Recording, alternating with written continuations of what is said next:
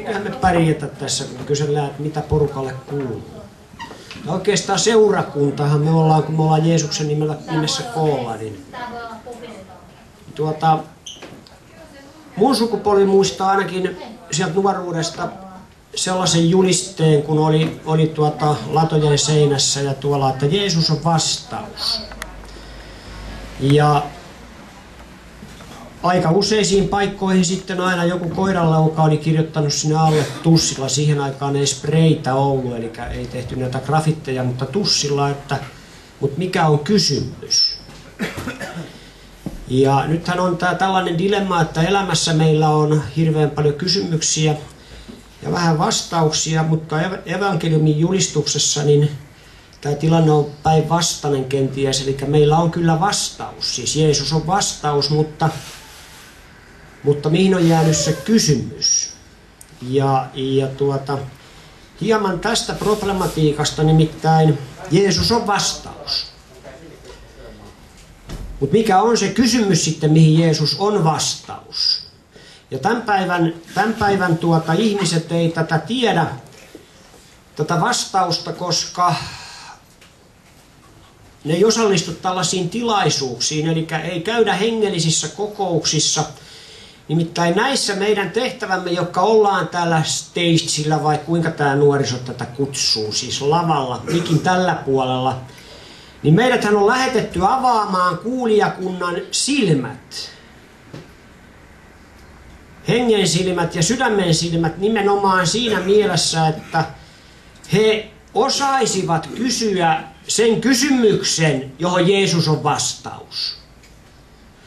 Nimittäin ei, ei Jeesus ole yleiskattava vastaus siinä mielessä, vaan hän on vastaus tiettyyn perusasiaan. Ja nyt sitten hieman siitä sitten, että siis näiden laulujen tehtävä ja julistuksen tehtävä tänäkin iltana on avata meidän jokaisen ymmärrystä kysymään oikea kysymys ja sitten löytämään siihen tuo Jeesus-nimen vastaus.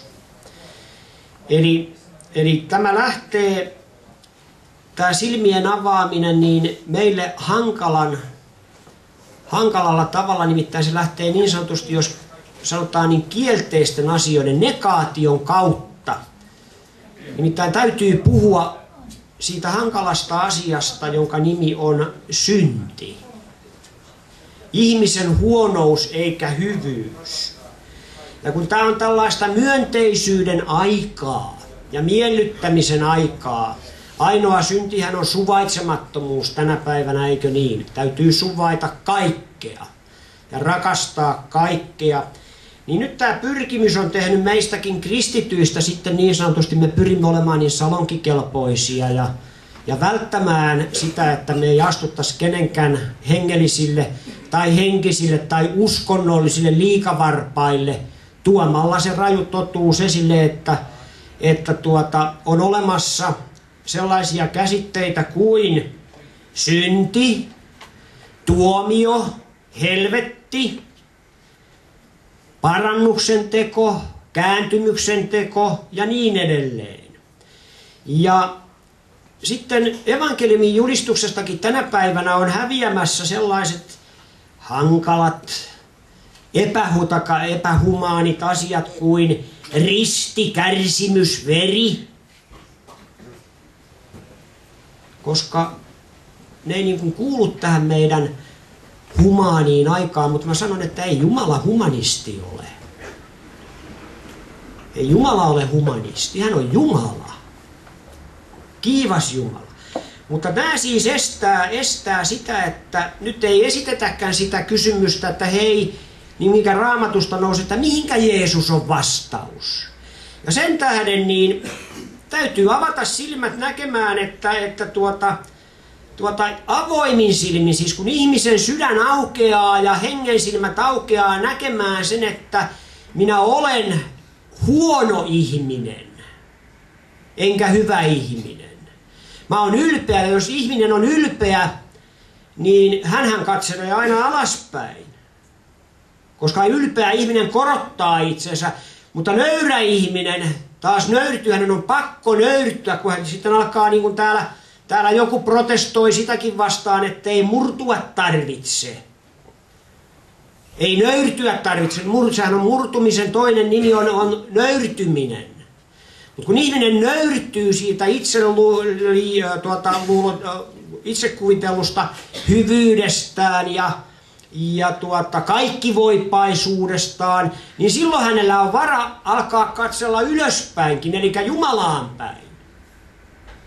Ja niin kuin täällä todistuksessa kuultiin ja laulun sanomatkin kertoo, niin kuopasta näkee hyvin ylöspäin.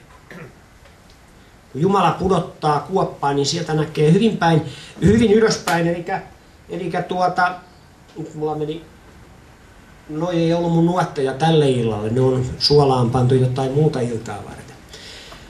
Niin siis synti on asia, josta meidän täytyy julistaa ja, ja täytyy lukea Jumalan sanaa aina, ettei puhu omiaan, niin Roomalaiskirje esimerkiksi, sen kolmas luku, siis en lue ensimmäisestä luvusta, jonka joku ajatteli, että kun roomalaiskirjat tulee, niin se on varmaan niin sinun ajankohtaista tekstiä, mutta mua kyllästyttää jo se keskustelu. Miten siis on? Olemmeko me parempia? Kysyy Paavali. Emme suinkaan. Mehän olemme edellä osoittaneet, että kaikki, niin hyvin juutalaiset kuin kreikkalaiset, ovat synnin alla siis juutalaiset ja pakanat. Niin kuin kirjoitettu on, ei ole ketään vanhurskasta, ei ainoatakaan. Ei ole ketään ymmärtäväistä, ei ketään, joka etsii Jumalaa. Kaikki ovat poikenneet pois, kaikki tyynit kelvottomaksi käyneet. Ei ole ketään, joka tekee sitä, mikä hyvää on, ei yhden yhtäkään. Heidän kurkkunsa on avoin hauta, kielellänsä he pettävät. Kyykäärmeen myrkkyä on heidän huultensa alla. Heidän suunsa on täynnä kirousta ja katkeruutta. Heidän jalkansa ovat nopeat muodottamaan verta. Hävitys ja kurjuus on heidän teillänsä. Rauhan teitä he eivät tunne. Ei ole Jumalan pelko heidän silmänsä edessä. Mutta me tiedämme, että kaiken, minkä laki sanoo, sen se puhuu lain alaisille, että jokainen suu tukittaisiin ja koko maailma tulisi syylliseksi Jumalan edessä. Sen tähden, ettei mikään liha tule hänen edessään vanhurskaaksi lain teoista, sillä lain kautta tulee synnin tunto. Eli siis silmät avautuvat siten, kun me kuulemme Jumalan sanan saarnaa, siis tuon kaltaista tekstiä. Että ei ole ketään, ei juutalaisten joukossa, ei pakanoiden joukossa, ei ole ketään hyvää, vaan kaikki ovat syntisiä. Ja että tuo tekojen tie se on noussut pystyyn.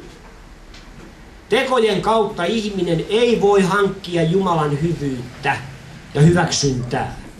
Se on, se on pois suljettu. Ja tämä ei tapahdu siis, vaikka täällä kuinka, vaikka kuinka voisin ääneni muuttaa, vaikka jos yrittäisin haukkua teitä syntisiksi, niin sitä minä en voi tehdä. Mulla on vain sen todistajan taakka siis kertoa, että kaikki ihmiset ovat syntisiä.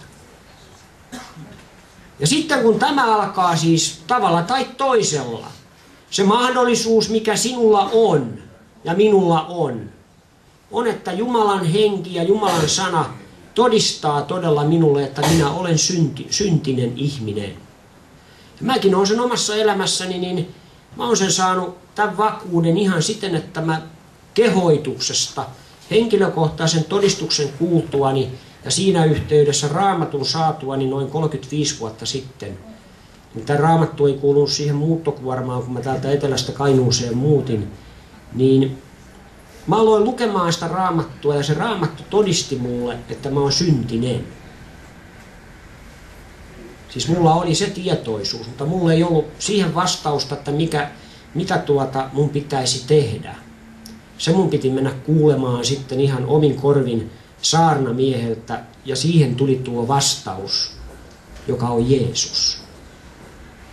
Siis Jeesus on vastaus siihen perusongelmaan siihen kysymykseen, mikä nousee sieltä apostolien tekojen helluntai saarnasta, kun Pietari saarnaa ylösnoussutta Kristusta, sitä, että Jeesus on Jumalan poika. joka ristiin naulittiin sinun ja minun ja koko maailman syntien tähden, ja jonka Jumala herätti kuolleista kolmantena päivänä, ja Pietari todisti, että Jeesus elää. Niin kuulijakunnassa siellä ei tarvinnut siis Pietarin ruveta anelemaan, koska Jumalan pyhä henki avasi kuulijakunnassa noin kolmen tuhannen ihmisen silmät ja oman tunnon kokemaan, että hei, he ovat syntisiä. Ja se kysymys nousikin sieltä, että mitä meidän pitää tekemään, jotta me pelastuisimme. Koska pyhä henki, kun hän osoittaa sinut syntiseksi, ja sen voi vain Jumalan henki ja sana tehdä. Ja sun, sun tehtävä sitten siinä kohdassa, kun Jumalan henki ja sana alkaa kolkutella sinne omaan tuntoon ja todistamaan, että olet syntinen pois poikennut vailla pelastusta ja toivoa tässä maailmassa. Itse asiassa ilman Kristusta olet Jumalan vihollinen, Jumalan vihan alla. Ja tähän ei saa ääneen sanoa enää koskaan, koska Jumalahan rakastaa kaikkia. Ei Raamattu sano missään niin. Ei Raamattu sano, että Jumala rakastaa kaikkia. Vain ainoastaan Jumala rakastaa omiaan. Niitä, jotka hyväksyvät ja vastaanottavat hänen rakkautensa. Toisin sanoen Kristus keskeisesti ja Kristus lähtöisesti Jumala rakastaa ihmistä. Mutta jos et Kristusta hyväksy, niin olet Jumalan vihan alla, tuomion alla, kulkemassa kohti helvettiä, kadotusta, koska on kaksi päämäärää sinun elämälläsi. Ja helvetti ei ole valinta, sinne menet automaattisesti, mutta taivas on valinta. Ja se tapahtuu siten, että sinä hyväksyt sen, että sinä olet syntinen ja tarvitset Kristusta. Ja Jeesus on siis vastaus tähän kysymykseen. Mitä sinun pitää tekemään, jotta sinä pelastut? Jotta sinä löydät Jumalan rakkauden, jotta sinä löydät syntiesi sovituksen, että sinä saat rauhan sisimpääsi. Sellaisen rauhan, joka ei niin kuin kajahda tähän ihmisymmärrykseen, vaan se on sisäistä todellisuutta, tietoisuutta siitä, että Jumala on minut hyväksynyt, sovittanut minun syntini. Ja sen takia ei kannata niin kuin kategorisesti paljon filosofoida tällaisella kysymyksellä ja maalailla sinne alle, että no mikä se kysymys on. Ennen kuin tajuat, että Jeesus on vastaus vain yhteen kysymykseen perimmältään, ja se on se, että onko sinun syntisi sovitettu. Mitä sinun tulee tehdä, jotta, sinne pelast, jotta pelastuisit. Tietysti tähän sitten sisältyy se, että eihän Jeesus tullut pelastamaan meitä elämästä, vaan Jeesus on tullut pelastamaan meidät elämään, todelliseen elämään, jossa ei sitten tarvi oikeastaan, eikä ainoastaan oikeastaan, ei tarvitse korvikkeita, vaan saa rohkeuden ja voiman olla ihan oma itsensä. Uskaltaa olla yksin itsekseenkin ihan selvinpäin. ja ihan oma itsensä. Eli tähän kysymykseen Jeesus on vastaus. Ja tämä kysymys siis aukeaa sen kautta, että sinun täytyy hyväksyä se, että sinulle julistetaan, että on olemassa synti, joka kadottaa. Korintolaiskirjeessä Paavali kysyy lukemattomia kertoja, ettekö tiedä, etteivät juomarit, ei huorintekijät, ei varkaat, ei ahneet, ei miehimykset ja niin edelleen, eivät he peri Jumalan valtakuntaa. Raamatusta löytyy siis Uudesta testamentista löytyy, löytyy myöskin syntiluettelot, jotka on ihan tekosyntejä. Kategorioidaan siis ihmiset ikävä kyllä. Syntisiin ja niihin, jotka ovat pelastettuja syntisiä. Ja evankeliumin julistukseen kuuluu aina se, että siis laki ja evankeliumi rinnan. Muistutus siitä, että me olemme syntisiä ja ilman Kristusta me kaikki olemme kadotettuja. Me kaikki olemme kadotettuja. Ja Jeesus on meidän ainoa toivomme. Jeesus on vastaus siihen, että hei, mitä minä teen tälle syntiselle elämälleni? Minä annan sen Jumalalle, joka Kristuksessa on sovittanut minun syntini. Ja niin kuin lauluissa täällä on tullut hienolla tavalla esille, Jeesus ei paikkaile sitä vanhaa, vaan hän antaa ihan uuden siihen tilalle, uuden elämän. Niin kuin mä sanon, ei Jeesus pelastanut meitä elämästä, vaan hän pelasti meidät todella elämään. Elämään isoilla tikkukirjaimilla, joka ainut kirjain. Varas ei ole tullut muuta, siis saatana, eli varas ei ole tullut mitään muuta kuin varastamaan, tappamaan ja tuhoamaan, sanoo Jeesus. Mutta minä, siis Jeesus sanoo, minä olen tullut antamaan teille elämän ja yltäkylläisen sellaisen. Ja nyt voit ainakin tältä kohdalla, mä katkaisen sun filosofisen mietinnän siis, eli kun näet noita kylttejä, niitä vieläkin jossakin on, että Jeesus on vastaus, niin tän illan jälkeen tiedät, että mihinkähän on vastaus. Siihen kysymykseen, että mitä sinun pitää tekemään, jotta sinä pelastuisit. Ja that's it. Usko Herraa Jeesukseen, niin sinä pelastut. Se on niin yksinkertainen asia. Mutta sitä ennen sun, tietää, sun pitää olla tietoinen siitä, että sä tarvit pelastusta. Ja se tapahtuu sen kautta, että sun silmäs avautuu näkemään, kuka sinä olet ilman Kristusta ja mikä sinä olet. Ja taas on pallo potkastu sun jaardille. Minä en voi puolestasi vastata, sinä vastaat omasta puolestasi ja minä vastaan omasta puolestani. Ettei mitään muuta kuin vain Jumalan siunausta ja jään rukoilemaan sellaista silmävoidetta sinullekin, että ymmärtäisit, että ilman Kristusta olet Jumalan vihan tuomion alla ja kohti iankaikkista kadotusta. Ja tänään olisi hyvä valita toinen tie, koska Jumalan almanakassa ei ole kuin tämä päivä. Jumalan almanakassa ei ole sitä huomista. Mutta saatana sanoo sinulle ja oma liha, että tee parannus, mutta tee vasta huomenna. Mutta Jumala sanoo, että tee se tässä ja nyt. Et silleen.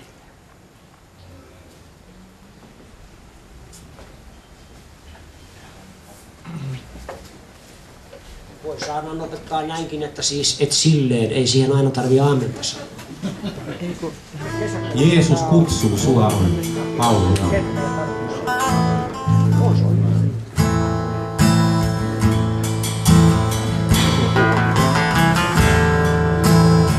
Elämäsi tarkoitusta yksin. Mitä seuraa kaiken tänkin? Tuttu pois on viereltäsi lähtenyt. Pelkät muistot enää lämmittää. Vuodet ovat nopeasti vieneet mennessä. Ja nyt kaikki niin tyhjältä tuntuu.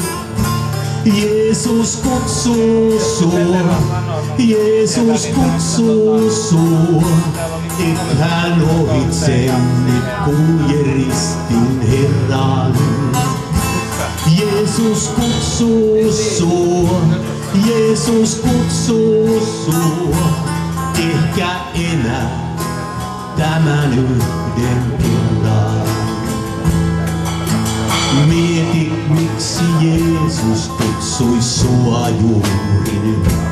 Enkö huomenna enää hälle kelpaa? Monen oven konkuttanut ole kysellyt, mistä löytyis rauha sydämeen. Vuodet ovat nopeasti vieneet mennessä. Ja nyt kaikki niin tyhjältä tuntuu. Jeesus kutsuu sua, Jeesus kutsuu sua. Et hän ohitse nyt kulje ristin Herran. Jeesus kutsuu sua, Jeesus kutsuu sua. Ehkä vielä tämän yhden kerran.